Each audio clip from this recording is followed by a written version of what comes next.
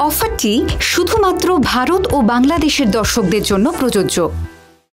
বাবা এই যাত্রাটা উদ্ধার করে দাও বাবা। আমার মনের কথাটা আমার মুখে এনে দাও বাবা। হে- হে বিষ্ণু হে মহেশ্বর হে তেত্রিশ কোটি দেবতা।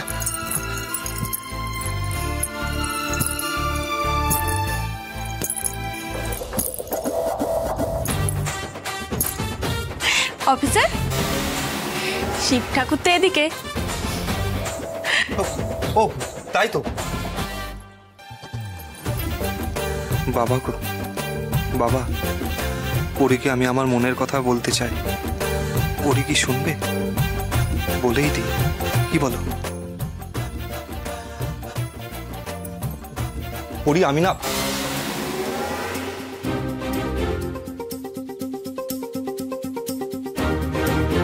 যা। কোথায় গেল?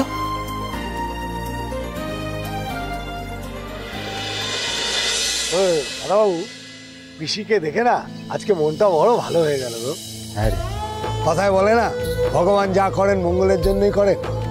দিদি বিয়ের আগে কত ভালো হলো বলো তো? ঠিক বলেছিস।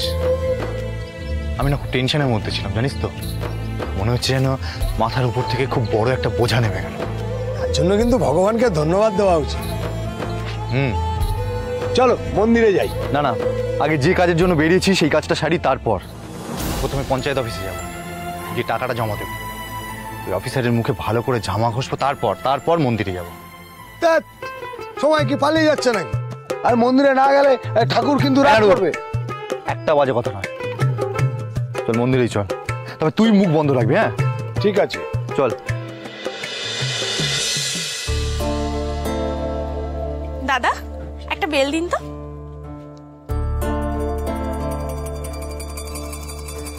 আচ্ছা আপনি আমার পেছনে পেছনে আসছেন কেন বলুন তো? আপনিও তো আমার সামনে সামনে যাচ্ছেন। কেন বলুন তো? মুখে তো কথার খই ফোটে। এদিকে একটা সাধারণ কথা বলতে পারে না। কোন কোন সাধারণ কথা? আপনার মনে কি কোনো কথা আছে যেটা আমাকে বলতে চান? আছে তো। তাহলে সেটা বলতে এত দেরি করছেন কেন? এই সুযোগ আর পাবি না রে দর্পণ। একটা মেয়ে তোর মনের কথা শুনতে চাইছে।